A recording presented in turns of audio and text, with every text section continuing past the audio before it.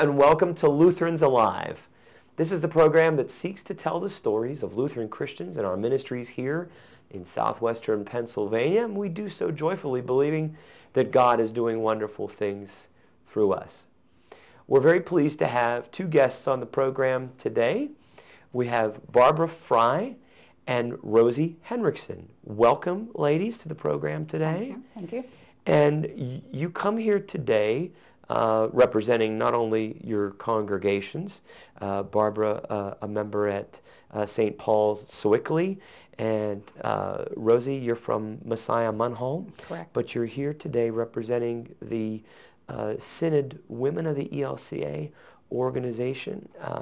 and we have a significant anniversary to talk about, do we not? Can you say some things about this anniversary that's coming up? Sure. We are starting to celebrate the 25th anniversary of Women of the ELCA, and it will also be the ELCA, but we're primarily concerned with the women of the ELCA.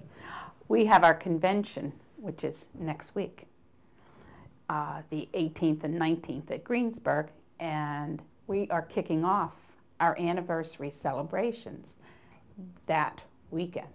And our celebrations will continue till the year 2013 in May. They will finish then, and I guess then we'll go on to our next 25 years. But uh, we're having uh, a workshop to begin with in the afternoon of Friday the 18th. And Barb has prepared uh, a presentation, a slideshow of different things that um, we have done at conventions in the past 25 years.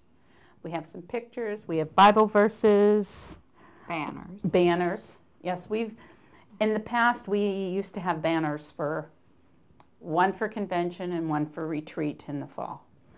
But now we've been doing banners that maybe will last for three years. We're taking them from one triennial convention to another. And so it was just a little too many to have. And so we've cut, narrowed it down and we have a few. And also, when we have retreats now, which are in the fall at Camp Lutherland, we I think it's been three years that we've been doing retreats with Northwestern Pennsylvania. It's a joint affair. So some of our banners were just mainly geared for Southwestern Pennsylvania. So I thought, eh, maybe they might not want to see all of ours. We don't want to take over the whole thing. We can easily do that sometimes, and I try not to. And so we've kind of just kept the general banners and had those up because they do, oh, show your history, show what we've done, different themes. You do want to remember, okay? Because someday we're not going to be here and that will be someone else's thing. Oh, remember when we did this? And there are stories, oh, lots of stories, uh, with conventions, with retreats, even with board meetings. I've been involved with the women since it started in one way. I've had my breaks in between. You, you have to be. So uh, I was the second president. Deb Niederheiser was the first one. I was the second one. And there are so many things back then that it was an adjustment period because we had to learn to be really flexible because it was just forming. And if I have to say so, we in southwestern Pennsylvania, the women, are about one of the best organized groups. We seemed to kick it off right away, and it worked, and we've kept with it. And it was just a great thing. Um, when you go to president's meetings, well, I should say when you used to go to president's meeting, if it was near a triennial time, you got to go to that city and see it. I had been to Chicago for one president's meeting, but I had been to um, St. Louis. And I went with Marty Rhodes, who happened to be the president in northwestern Pennsylvania. And they wanted us there the night before because we were going to start at 8 a.m. And I told Marty, I said, the only thing I want to do is go up in the arch And we did. And after that, this was in March, and then we ended up going to a floating McDonald's, which I've never been in a floating McDonald's. It was in March, kind of cold. And then we ended up calling a taxi from a McDonald's to go back to the hotel. But he wouldn't take us back to the hotel. He dropped us off at Union Station, and we had a blast. We had a great time walking around and that. And finally, we did wear out and went back to the hotel and started for president's meeting. So it was a very good experience um, being a president, being in charge. But it's also nice just to be a board member. You don't have quite as much responsibility. But right now on the board, I am the secretary, which I said I have been a board member, I have been vice president, I've been president, but boy, secretary is a lot of work too to get all the stuff together. And we've just completed, in fact, Barb and I were here today stapling our book for our convention for next week so that we have it all ready. You mentioned that history is very important, and mm-hmm. I believe that to be true. Our history is very important. In the, it may be helpful for many of our viewers to know that here uh, in North America, we Lutherans have been here for a while, and there have been mergers mm. and divisions yeah. and then remergers. And when we talk about 25 years, the past 25 years, we are talking about the formation of the Evangelical Lutheran Church in America, mm-hmm. the ELCA, and then subsequently, of course, with that, the women of the ELCA uh, organization, which, as you say, is very well organized. And, but women uh, in our Lutheran Church do have a long history of being very, very active mm-hmm. and doing many things, participating in many different ministries. Can you say some things about that, even prehistory, uh, even pre-1988? Uh, yes. Can you say some things about what well, women have done? We've done an awful lot of digging and reading and throwing out papers that we no longer need. Um, we ran across a eight and a half by 11 sheet of paper that was done up like a family tree and it went back to 1818 to the first, now that can't be the first Lutheran church, but the first maybe organized synods. And um, they were back with the Norwegians and Germans. There, there was another group down here. Anyway, I did enlarge it and make it a bigger chart so everyone could see it. Um, so yes, it's kind of silly for us to be saying 25 years when it's hundreds of years mm-hmm. because I'm sure, well, Katie Luther had everybody organized, I'm sure. And the women have always been the backbone of any church, so any organization. True. So that's part of our, our history that, yes, we, we know there, there were women before us. And uh, going back to something she said, when we merged 25 years ago, I really feel we took the best of each of the women's groups mm-hmm. and made it part of ours. Wonderful. Ladies, thanks so much for what you've shared so far. We're going to hear more uh, in just a little while. We're going to take a short break. We'll be right back here on Lutherans Alive.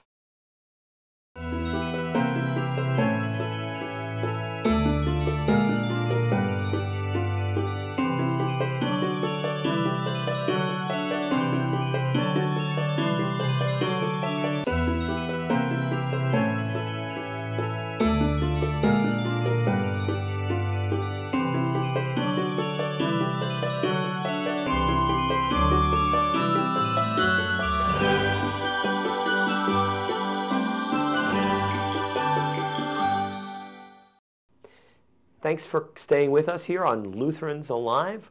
We're talking with Barbara Fry and Rosie Hendrickson, uh, talking about the ministry of the women of the ELCA.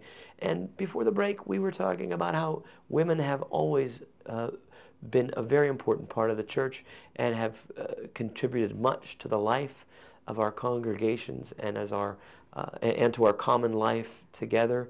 Um, in the last 25 years, now in this current uh, incarnation of the, the women's organization, uh, how have things changed? Uh, you ladies have both been involved for a very long time. Uh, how, how have things evolved in the last uh, 25 years? How have you seen things change? Well, we don't do suppers as much as we used to. Um, but the women's group, uh, when they formed, I think it, three years after they formed, at the Washington, D.C. Triennial, um, a church-wide group decided that we should emphasize women and children in poverty. And then two years after that, mm-hmm. we in southwestern Pennsylvania decided we ought to have a focus each year for our giving. And um, so, so we formed designated outreach. And the different organizations come. They do not have to be religious or Lutheran. And they present their projects and their cause to us at our convention. And the women take a vote. And um, usually whoever wins, the second one coming in, they come back the next year and then they get it. Um, but we have had some very interesting uh, outreach to work on. And our women love to give things from paper towels to socks. So we always have a list, a wish list. And then, of course, they're uh, allowed to give money. And so we've been able to give tons of products to these uh, organizations and lots of money. And uh, right now we're doing Gwen's Girls from Pittsburgh. And um, that's been completely different. And we did Girls Hope in Baden. That was interesting. Um, and uh, Rosie had mentioned previously about Pastor Scott Kuchenmeister Hall um, with the Lutheran Campus Ministry.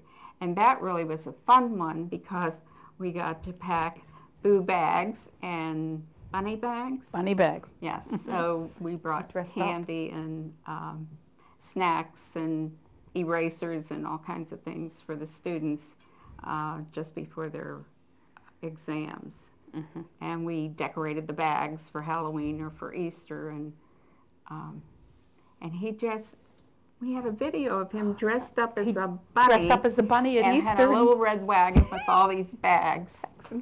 And uh, somebody, somebody young had come up to me following the meeting where we had decided to do this and said she thought that was so silly. College students don't want it, that kind of thing. But then we got this video from him and by golly, they did. They did. They loved it. It was a great thing. We so did. That we did him in 2000. That was the funniest thing. Yes, that was the. yes, that was it. The rest seemed to be a little more serious. serious. Yeah. And that where they've had wish lists that have asked for things that we just cannot do, but congregations will combine and bring things. And we always tell the person that is representing and coming to the convention to please bring a station wagon, a van, a truck, because you get tons of stuff, believe me. Um, it's run amok from paper towels, paper plates. We've done diapers, toiletries, all types of things that we give for this. And they are astonished. We have had a few that have been so astonished. We have jam-packed into some vehicles the things that they have asked for and um, I'm trying to think, uh, Glade Run and Zelienople asked for games and different things like this. And we really did. We jammed in all the things that they get at retreat and convention into their vehicles to fit it in. And so they have been very well pleased with the women and what we have given them. And we have been pleased with them that we can do what little bit. It may seem minor, but it helps them. And then there has been a monetary gift. Whatever the people send to us, we send off to the um, organization. They do get it. We don't keep it for our offerings. We pass it on. And we've had women that, um, oh, different workshops, different things like this. We've done Lutheran World Relief.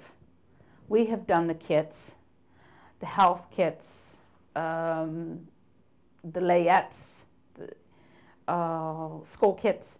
We have done quilts. We have had churches that have done quilts, and this has all been sent to Lutheran World Relief. Um, we've had different things that we've been asked to make and do and bring to triennial conventions. We do try to go to triennials as much as possible, some of us that are, are not delegates. The past triennial, which is the whole church, was in Spokane, Washington this past July, uh, July of 2012 we went. And we were asked to bring some things. Or we sent things ahead. The one year they were making knitted hats and we had to send yarn. And we had to send uh, some needles. We were given assignments and things like this. So the women have done this and we have. We have one lady in our group that um, collects from the different women uh, lap robes. And these, these go to the veterans here in Pittsburgh, if I'm not mistaken. She collects those and they are given there. And she may take, oh, she may get 50 or 70 at convention and she'll take them on and pass them. So the women not only have been generous to ourselves, we've been generous to everyone else that we can, as much as we can. And we know with um, losing memberships, losing churches, uh, we're becoming older and there aren't as many younger people coming up, that it can be a little bit harder to get as much financial support sometimes. And this is a big thing, which I know it is for any organization or even any church. But so many have been recipients of your love and care and the collections that you have have made. Uh, and that type of outreach, that caring for others, that caring for neighbors in need has always been one of the hallmarks mm-hmm. of the, the, ministry of our church women. And it is, uh, it is a blessing, and you have been a blessing for, for many years, and I have no reason to believe uh, that that will continue in some form uh, in the yes. years in the years Probably. to come. It will. Yeah, it, it will indeed. Mm-hmm. It will indeed. Uh, other things that uh, have been a part of uh, your life together as women of the ELCA, um, Bible studies and um, learning, uh, growing together in faith. Uh, it seems to me that a lot of congregations uh, do have women's Bible studies, some with resources provided through the women of the mm-hmm, ELCA. Mm-hmm. Can you say some things about that? That's changing, yes. Uh, the church-wide office of Women of the ELCA are still doing lots of programs, lots of programs. And you used to be able to call and order them. Sometimes there was shipping costs or, or a price for it. But that seems to be going away. We have to download, download everything. It. And uh, we have been trying to encourage our women. They've got to learn how to at least do email. They really, really do. And so I get up there every time I can and say, okay, how many are online now? And it does seem to be growing. Uh, I think the fear is lessening because when you look out over the group, most of them are older and a lot of them just don't want to be bothered. But I think everybody is realizing we're going to have to learn to do this. So yes, there are a lot of things being provided, but right now they're mostly online. It seems to be the, the way things are going. Yes. See, then you need to ask some of the younger women who know about computers, draw them in, get them involved, and get say, hey, will you download this for the group? Right. And get will them involved. you do this for That's me? That's right. We That's need 10-year-olds.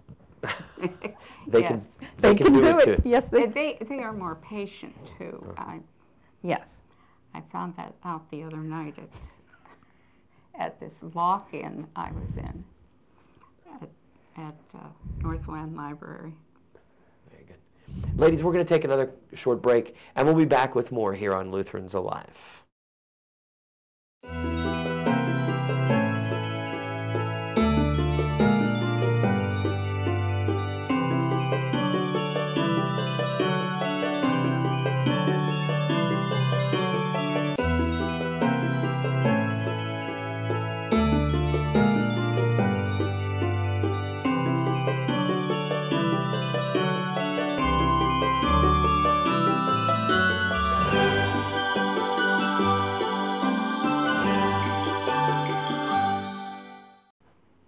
Welcome back, and thanks for being with us here on Lutherans Alive. We continue our conversation about the ministry and wonderful outreach of the women of the ELCA organization within our Lutheran Church. Uh, Barbara Fry and Rosie Hendrickson are here with us. And this has been such an important part of your life. Uh, you ladies have been involved with uh, the ministry of our, uh, our women's organization for, for so long. How has being involved uh, touched your life in, in, a very personal way. How has your life been enriched and your faith journey? How has this been an important part of your faith journey? I would say when I first started going to church as an adult uh, after I got married and went and walked into a church and sat down. My husband's Baptist and I was that for three years, but I wasn't Baptist. They wanted to baptize me, and I didn't trust the minister who'd drown me. and so I went to the Lutheran church. Ironically, a friend there worked with me. I didn't know that she had gone to that church. And I remember the same day someone coming up and asking me to come to a circle meeting of their women's organization. And I did and I haven't left. And I was involved with the previous organization, Lutheran Church Women, and then it turned turned into Women of the ELCA and have been involved in it. To be very honest with you, I wouldn't have, I wouldn't know what life would be without the women's organization. It has enriched me. It has given me so much that I didn't know I had. It's given me a strength. It's given me courage to do things. And it seems like as long as it's the women's organization, I can do it. I have a hard time saying no. Uh, this has been told to me by a lot of people, but if it was for the women's organization, if I can do it, I'll do it. I guess that's why I'm here today, it's because I couldn't do that.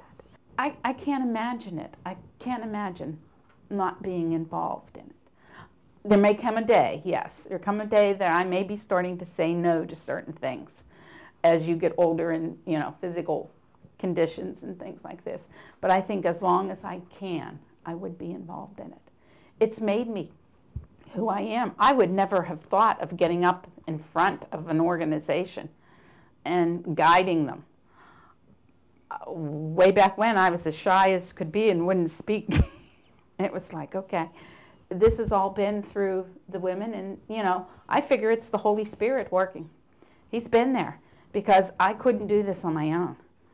It's been whatever, and He's given me this courage to go on and do this stuff, and not think not think twice about whatever challenge it would may, may be. Um, Jeremiah says, you know, he knows the plans he has for me, and this is what he's led me to for the past um, many years that I've been involved in it. Barb, what do you say? Well, I don't know. I've been a Lutheran all my life, and um, for a time after I was married, and be, well, and a little while after children, you kind of have to step back um, from doing things. Uh, I guess I never really dropped out of Sunday school for the longest time. I was always teaching Sunday school, mm-hmm. but um, yes, when when um, when I changed churches, I thought I went from Zion and Coraopolis to St. Paul's and Sewickley because it was closer to where we lived, and I thought I better get started with the women's group. And uh, first meeting, somebody couldn't figure out how to do something, and I said I'll do it, and I like Rosie. Look where I am today. so I just figure I somebody's pushing and pulling me uh, in this direction. I have grown. I used to be very shy also. Nobody believes that either. Um, since my husband passed away, I was determined to stay busy, and um, and I have. So um, it just becomes a part of your life, and like when you miss church on Sunday, you feel like something's wrong. Mm-hmm. So if you're not out there among the women, and uh, I just hope that the women's group can everywhere, all kinds of women's groups mm-hmm. can stick together and survive because they are having trouble. And I know the women are working and are tired and have too much, but you need the companionship of other women, and you certainly need your church's women um, for strength and and just plain fellowship. Mm-hmm. So I guess it, that's it.